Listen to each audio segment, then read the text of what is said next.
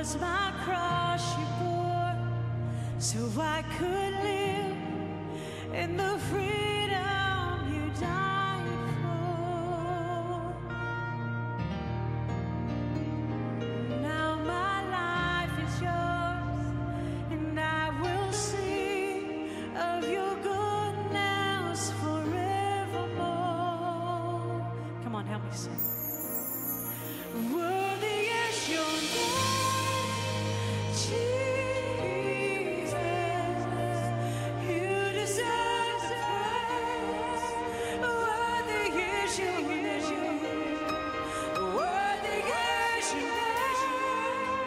You